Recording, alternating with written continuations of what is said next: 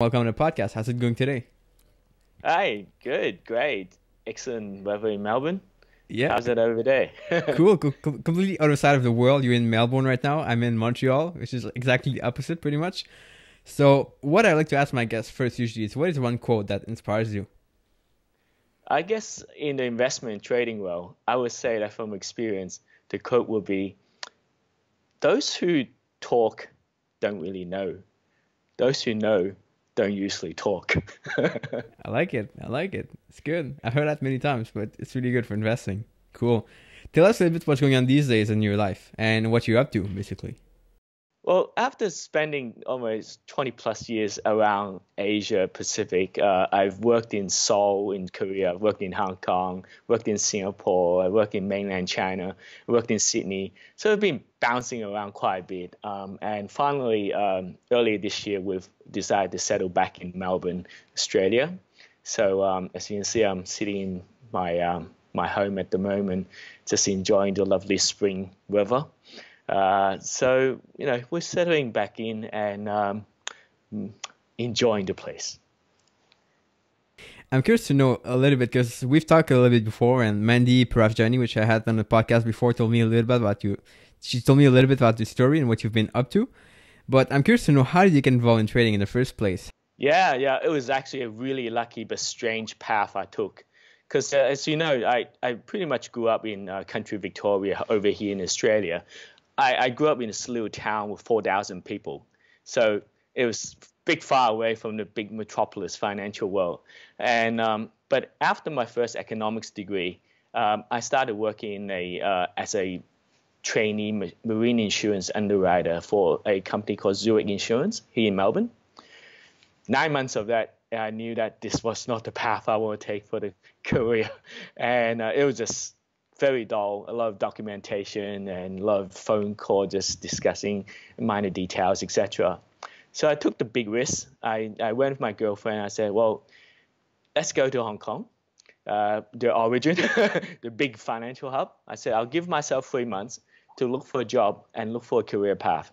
If I fail within three months, I'll come back and do whatever. Uh, after two and a half months uh, over there, I was lucky enough to land on something got a call from a uh, German merchant bank at that time called SLB.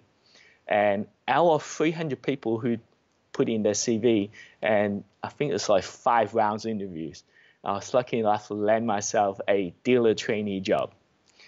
So this was a program they picked two uh, youngsters and uh, literally a 12 months training program around the dealing room. So I was went to the FX side, the interest rate side, even the back offices, the sales, the private banking, everything. Uh, after 12 months training, I uh, I settled in uh, spot FX and uh, looking after the night desk orders and that. Um, so I had to work nighttime uh, for about six months. So that was my entry into the trading world. and how was it from there? Because I know a lot of people get involved in training first. Maybe they succeed, maybe they don't succeed at first, but then they kind of crash after some time. Was it like that for you, or was it pretty much good from the start? Well, it was tricky, right? I mean, a lot of pressure, um, a lot of intensity, especially if you don't know anything, right? Going in green, and it was very tough. But I was very lucky in a way. After a training program and six months there, I, a big bang actually um, decided to look at my CV and took me on. HSBC Hong Kong at that time had something like 250 people in their huge dealing room. And I, I was recruiting to the spot FX desk, learning from the best. Uh, the, back then it was the dollar mark, uh, the, the dollar yen. So I, I sat between those two uh, market makers and learned from that. The mark yen at that day has still had a, a arbitrage system where uh, you use this electronic brokerage uh, system, EBS, and they would arbitrage between the two. So it was quite an adventure. It was very good stuff.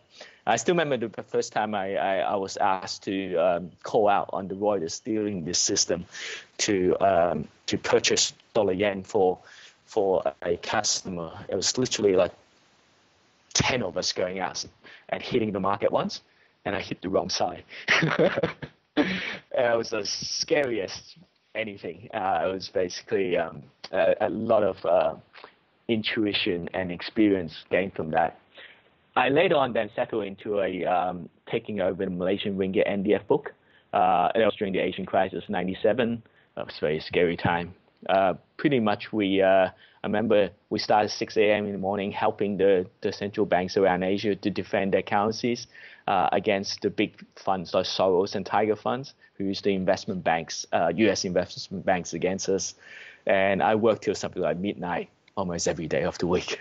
it was very scary moment. but during 1998, um, when the, the, the ringgit was pegged against the dollar, um, I literally lost my role straight away overnight. And uh, I was lucky enough to be transferred into interest rate derivatives desk, um, where I helped to um, learn and look after the structurings, the IRS, interest rate swap, futures, money market, etc. So that was excellent. Um, I spent five years at HSBC, and um, it was much big memories. I was then um, uh, lucky enough to get another venture uh, came along. I was recruited by Citibank in Hong Kong at that time. They were actually merging uh, with uh, Salomon Smith Barney. So Salomon Brothers is the, the star of Liar's Poker, the book uh, written and got famous uh, by Michael Lewis. Um, so you know that the fixed income sales, you know, were like the big shots, the huge players in the U.S. bond market.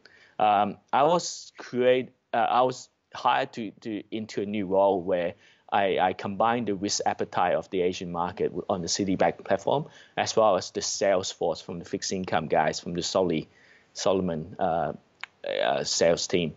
I was just running between two dealing rooms every day. It was like they were not merged into one building at that time. So that was fascinating. It was a lot to learn. yeah. And how was it at that time? I'm curious because were you trading the whole time or were you doing some different kind of jobs? Well, you had to be trading because like basically you structure these products to be uh, sold by the sales guys, but there's risk with those products, right? There's credit risk associated, there's interest rate risk associated. Sometimes there's foreign exchange risk associated as well, because I could be selling a Hong Kong dollar um, structure, I could be selling a, a, a renminbi structure or a euro structure versus the dollar, etc. And because I was based in Hong Kong, the balance sheet is actually in Hong Kong dollars. So with all these structures that go through, I actually have foreign exchange risk, I have interest rate risk, I actually have volatility risk as well, because as you try to uh, enhance the yield of these structures, basically uh, you also have optionality uh, put into it where uh, the customer sells you an option to enhance the yield and boost up the yield for these structures. So you're basically hedging against the product that you sell. Uh, I think so. Yes. Okay could you tell us like what a day would be like of someone in an institution like this, a trader? Is it interesting? Is it kind of does it get boring over time, or what does that look like? Well, apart from running between the two places, which exhausts you a bit, I mean, having morning meetings, solely sales, and then going back to manage risk and C platform, the day is never boring, right? And pretty much, um, what I learned from the mentor is basically that you have to be ready when the markets start to move. Uh, you can't just get ready when it does. So, um, so there's a lot of reading into it. There's a lot of learning into it. Um, you have to know which structures uh, to to price. You have to understand in individual swaptionalities, the optionalities in the market. You have to be prepared on different credits, new issues that comes out. You just literally have to do 80% preparation before the market moves, and probably 20% it's the trading itself. Mm-hmm. Cool. And yeah. what kind of preparation do you do? Is it something you do on your own or with a team or? Uh, you do have to work with team. Uh, obviously, you work with various traders. There's F- FX traders that you offload the load the risk to. There's optionality traders. You also work with brokers, obviously, interbank brokers, where they quote the prices for you offload the load the risk. And then you have to work with salespeople, especially in large institution banks like uh, Citi and Soli. And their sales force were just huge and very aggressive. So you have to constantly be liaising with them and uh, get up to date from what their customer needs are, and they get updates from you on what the market's actually uh, demanding and supplying. Mm-hmm. And what would be one of your biggest failures working in an institution like this? Um, well, I guess the, the biggest uh, failures I had was after moving a few rounds.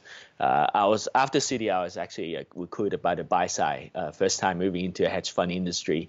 Uh, I started with um, a, a hedge fund, a boutique hedge fund uh, with 250 million AUM. It was a multi-strat fund. We had 13 people when we start. After four years of that, we had grown to two and a quarter billion of AUM, and literally we were taking over from by the Sparx group of uh, Japan, and the, the combined force was like 200 plus people. So that's wow. huge. yeah, uh, but after that, I, I uh, when we sold the company, uh, my boss at that time, the macro CIO, had moved to work for Steve Cohen as SAC, and myself, I was recruited by Deutsche Proprietary Unit uh, to look after a, a uh, Asian ex Japan portfolio. That's where my biggest failure came in, unfortunately. Uh, this was the beginning of the, well, just prior to the beginning of the GFC, 2008. Um, the first two months, I had huge wins. I was really up to my, my nose on, on uh, my revenue. So I, I took um, a, a working research trip to Vietnam where I met up with banks, uh, met up with treasuries, I met up with some uh, central banks, etc., to get understanding of the, uh, the, the financial reforms that was coming. Because Vietnam previously had just joined WTO, and uh, they were supposed to be the next uh, China on financial reforms, on trade reforms, on um, just huge fixed income uh, and equity market boosts coming through. So I end up purchasing um, or investments uh, investing into the agency bonds, government bonds, and the foreign exchange of Vietnam until Bear Stearns got hit. So this was the beginning of the GFC when Bear Stearns got uh, literally taken over by J.P. Morgan for two dollars and then revised back up to ten. Um, and obviously, you know what happened afterwards with Lehman Brothers and and so on, so on. Um, uh, literally, my positions had no liquidity overnight straight away, and I was just sitting on it waiting, watching, bleeding, and bleeding and bleeding. yeah, yeah. So my huge profit were taken away from me. what can you do in those situations? Do you just wait, or you have to find solutions, or how do you react to those things? I think that was a really bad time because everyone got hit. Uh-huh. Literally every single bank was hit left, right, and center. Not just in particular of these government bonds or agency bonds. They were hit on CDS. They were hit on CDOs. They were hit on everything, foreign exchange, whatever. So people were very risk averse and they were reluctant to take over any risk that was didn't have to say the liquidity for them to get out. Right? Things just got worse and worse. Um, so even though I tried to liquidate the positions, um, but you know I, I got out half of it, uh, but the rest you just literally have to sit through. And it's extremely hard uh, to sit through those situations, obviously, when everyone was panicking. They would just sell mm-hmm. first and ask questions later. Mm-hmm. And that makes me think a little bit of being kind of a small trader who trades for other people. So I guess you have to talk to the people you're trading for at some point. Yeah, yeah, yeah, definitely. Um, you, basically had to talk to everyone. You had, you had to network in the market. You had to network in uh, uh, with your your own teammates. You have to network with your bosses and his bosses, etc. Because everyone was panicking, right? I mean, even the CEO of major banks were panicking, and most of them lost their jobs um, during the GFC, obviously. Um, so so people were nervous, and they wanted to know why you're losing money every day. They want to know why you're not getting out positions, and they want to know what is your plan or your solution to the existing problem? Because they they at any single day during GFC they had 10 problems on their plate and they just want at least most of them getting off the plate as soon as possible. And yeah so how do you handle those situations? Because I guess it's one thing to have like a losing month and lose some portion of your account but it's another thing to lose like that big in a situation like that so how do you react? Because I guess it's a lot of pressure, like much more than just a losing month or a few months. Yes, I think that the the point was prior to GFC, not since probably the, the Asian crisis, that people have experienced um, total dislocation of financial markets. Right, it was hitting the main street as well. Obviously, as you can see, that the direction coming out of the uh, the central banks around the world. Even today, we've not started to really unwind those kind of extra, extraordinary um, quantitative easing and um, literally blowing up of central bank balance sheets and moving uh, the, the, the private world into the government world. right? We even today, after 10 years since the what happened, we haven't done that. So you can see that how big it is, right? And I think that not since the 30s when the, the Great Depression hit us that we've experienced anything like that. And this time around, the magnitude of the numbers were, were much, much greater. Yeah. Right? And, and I think people, basically, the entire industry has been flipped around. And I, I don't even know if we ever, ever recover fully into what it used to be. Wow. Pretty crazy. Yeah. And what would be one of your main success as a trader like this, an institution? I think um, uh, apart from the profitability, my great ex- success will be to be able to gain so much mentorship and, and learning path. As you can see that from my path is pretty much that uh, I started off foreign exchange. I went to interest rates. I was lo- uh, moving into the buy side equities, the, the the hedge fund industry, and then later on, I actually end up um, doing business development. Excuse me. I, I, I uh, tried to set up my own multi-strategy hedge fund uh, with two partners as well. One was a event-driven guy from Morgan Stanley, and then a long-short equity guy from uh, Mirae uh, Investment from uh, from South Korea. Uh, we were going to get $100 million worth of C coming from a Shanghai IPO, which we spent a year on it unfortunately, it collapsed on, on the last minute and we couldn't get our C and basically spent our 12 months uh, losing time, money, and effort, uh, and pretty much devastation. So there's a lot of steep learning path along the way. Right, there's yeah. so much going on. Um, while I was doing that, I was actually uh, to get the cash flow. I was actually helping uh, a the accounting firm Ernst and Young as well on a contract. I championed a um, a hedging strategy project in Seoul, in Korea, where Samsung Life Insurance uh, was needing to hedge their annuity program after GFC, um, and they they they basically asked several consultants to, to present their project, and I was uh, recruited uh, by a friend of mine who was a partner there to uh, to launch our case, and uh, we won that. So I went over to Seoul for six months and basically helped them set up the front, back, middle office and a hedging program for the annuity uh, insurance. So there's, so much uh, learning path going through, um, experience, intuition. Um, so I think that's that's the main gain I had. Yeah. yeah. I think those are the times you learn best when you kind of have to learn, or you, or either you have to learn or you kind of fail. And yeah. Yeah, definitely. Uh, it was like moving into something that is totally strange to me and saying, well, uh, learn, grow, mature, and reflect whatever you have. Um, otherwise, then just give up. And it was no time to give up. It was just you were too busy trying to swim forward to slow down because once you slow down, the sharks were waiting for you just right behind your tail. Absolutely. I want to get to your training style a little bit, but before, I kind of want to ask you what are some of the lessons you got from your mentors? Like the top, let's say, three lessons you got. Okay, firstly, is that basically there's no there's no luck for the long-term trader. You get lucky. There's small, easy money one or twice, but if you're trying to look for the big trade or consistently over a number of years, if you don't do your homework, you don't have the fundamental knowledge of, of your trade, you don't have the staying power. So as soon as things go wrong against you, you don't know why you're still in the trade. You, you keep getting out, you keep getting back in, you keep getting back out. You got no staying power. You don't have belief in that particular trade or that investment that you do. And I think that it's what distinguishes between the real good macro traders versus everyone else.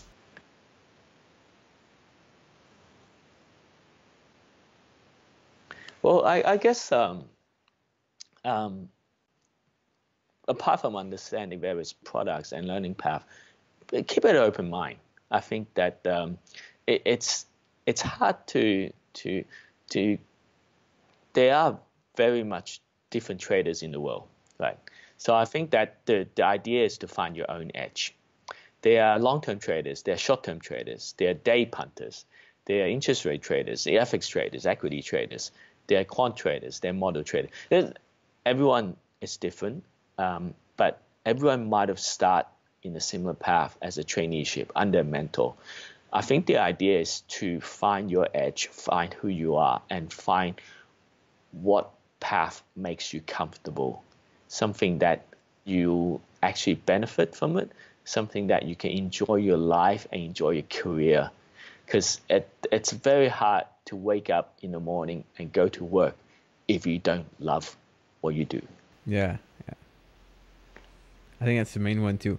So that brings us to uh, your style. So what will be your trading style today?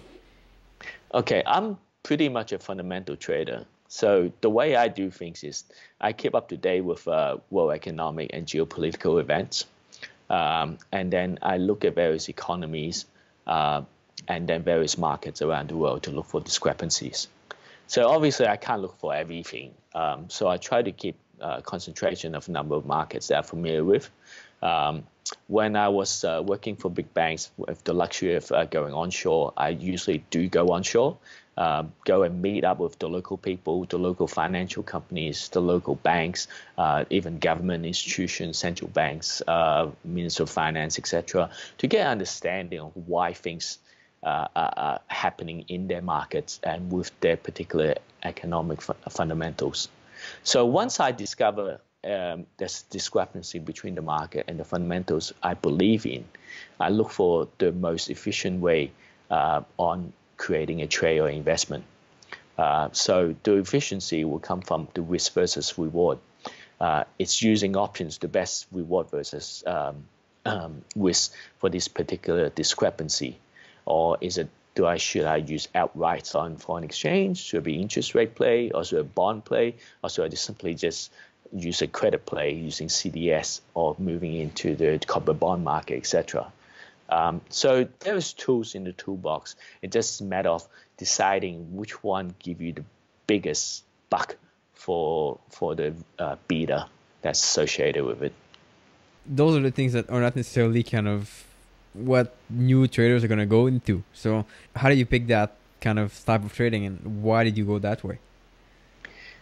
Yes, I, I don't think it's it's something that you learn on in six months, right? Uh-huh. I was lucky enough to be phone, well, not phone, to be recruited by different institutions on different desks uh, by the different areas of the market.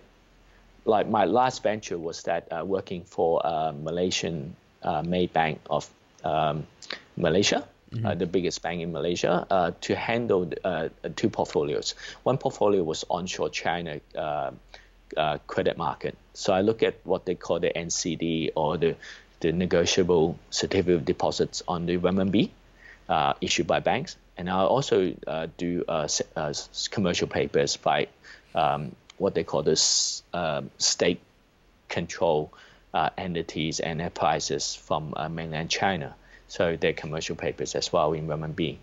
I also do an offshore uh, credit portfolio where I look at the both high yield and investment grade bonds in both dollar, euro, Australian dollar, and, and the dim sum market, which is the CNH market.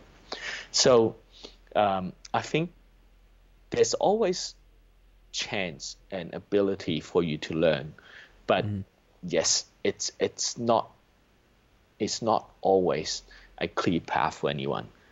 When yeah. I started as an FX trader, I had no idea eventually I would actually learn about interest rate. I had no idea I would learn about credit. I had no idea I would actually move from the sell side to the buy side. But the point is just be ready, right? I mean, learn everything you can from where you are. And when that opportunity comes along, then you're ready to leave and move into the next path.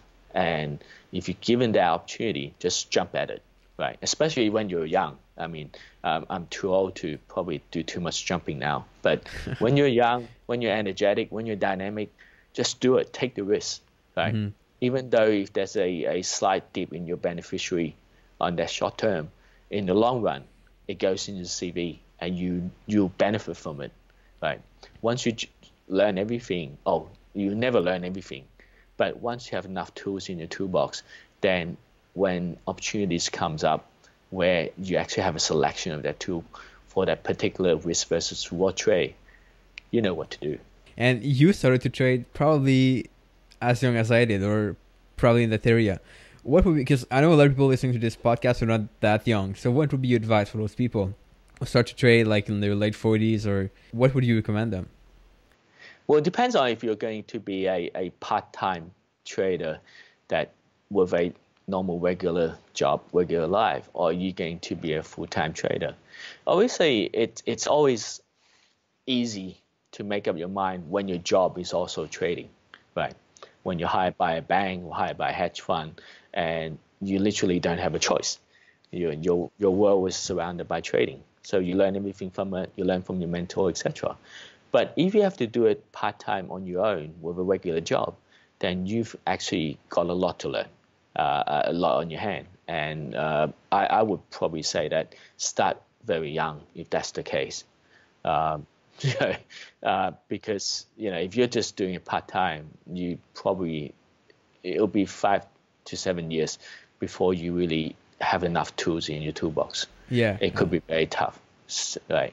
Because uh, like I said before, you could get lucky once in a while, but you know you can't always fall back on your luck. You need that that uh, intuition, the fundamental in your base to fall back on and to have the staying power in the trade when things don't go your way. And what do you think are the things traders kind of have to learn? Like whatever style they're at, whatever things they look at in the market. Do you do you see some things that like everyone has to learn all the time? I think it's always good to understand the fundamentals of the world. Uh, I mean, to to to be alert, right? You could be a short-term uh, arbitrager on on the exchange, but you might not need that information for the fundamental side, for the economic uh, events that goes around the world. But you need to know it. You need to know when things happen, right? Just because you're upping one or two ticks in the market and you're making a living out of it, if North Korea decided to send a missile that goes straight into Tokyo or Seoul tomorrow, that one or two ticks will evaporate straight away. The spreads will widen. You will not know what to do but if you don't know the event and you haven't read the news and you don't know what it possibly could cause, you could be in quite strife and you'd be panicking. The last thing a trader wants to be it's continue panicking when event goes on and you have no clue. Yeah, yeah. At the same time though, I feel like events can make us panic when we don't know what to do. So if if let's say you see an event in the news, how, should you stop trading if you're not comfortable with it, or should you try to analyze how things are and decide to trade or not? I think that's the point about preparation. If you understand beforehand that um, the, the, the nitty gritties of a particular event, if you read about it, if you study it, and you know that it's most likely going to be the headline that comes through for next week or next month or whatever, then then literally you have a plan in hand. It might not be a very detailed plan, but at least you know. You know that, for example, if Trump started treating against the North Korean missiles um, firing over Hokkaido this morning, for example, then you know that chances are he's going to talk something very aggressive. Then the market might sell off because of that particular tweet. But the point is, unless Congress or UN follow through with his aggression on the wording, then chances are the market might not sell off as badly as um, the initial reaction will be. So there could actually potentially be some bottle fishing uh, relating to it. Um, there could be a when China and Russia comes out and try to put down a negotiation path uh, with North Korea. Maybe that when um, the U.S. South Korea and Japan uh, back off a bit and decided not to conduct any more military exercise on the front doorstep of North Korea, North Korea will also back off. They might come to the, this, the uh, negotiating table once again.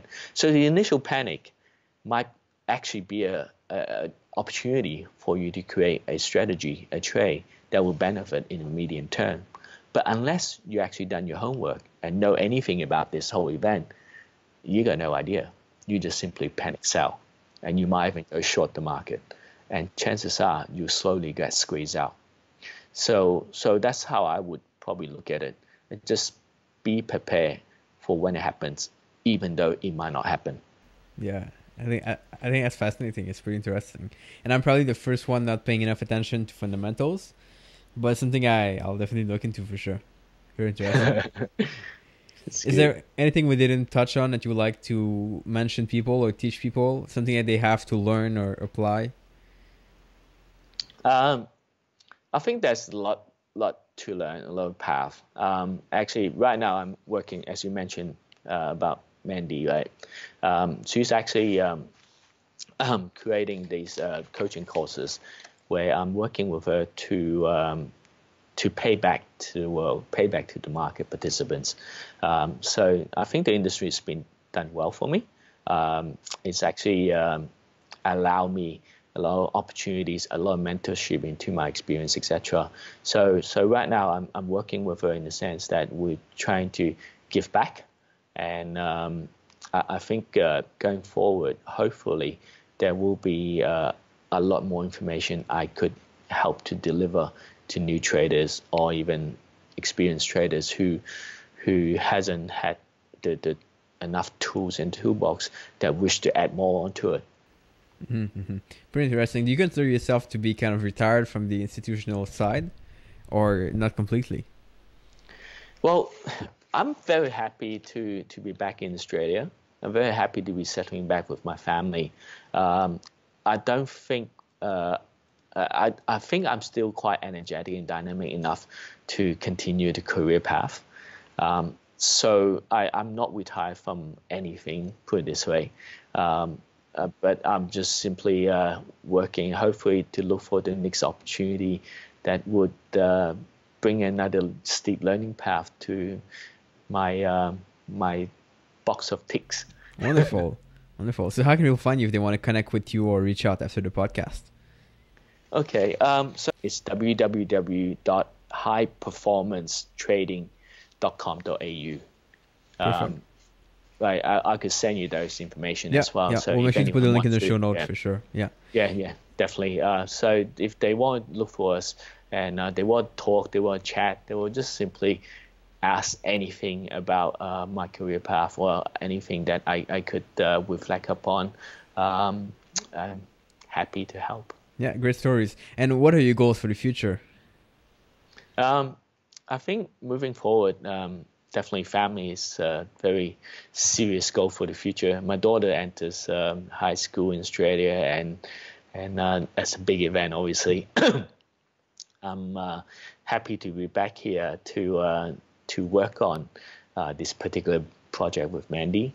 Um, hopefully there'll be other uh, type of venture goes through um, on the career path as well. Um, the bottom line, the big goal is trying to stay happy, trying to enjoy the things I do, and um, trying to matter to people around you. What's your main motivation for all this? Yeah, I, I guess you know if it's just for the investment trading motivation, I think it's always a good idea that you know that once you've done your homework, once you um, treat your mind and be ready for things, you could actually beat the market. You know, the market is efficient, but you could actually beat it. I think that's the whole point of um, being a trader, to to have the ability, and when that result comes out, and you've actually front run this particular vast um, marketplace of so many individuals, then you feel the honor, right? You think you've your work has come to a fruition. It, yeah. it's kind of a challenge, yeah. Definitely. Love it. Love it. Awesome. Well, yeah, I have this question I ask my guests at the end of every single podcast. If you could give only one piece of advice for traders in one sentence, what would that one sentence of advice be? Uh, don't rely on luck. Do your homework. Um, learn the fundamentals on things. Even though if you're a technical trader, just learn as much as you can on things because one day it'll come out that you need it in your toolbox. Awesome. Powerful, powerful. Well, Yan Fong, thanks so much for being on the podcast. It's been a pleasure to have you here. Thank you, Etienne.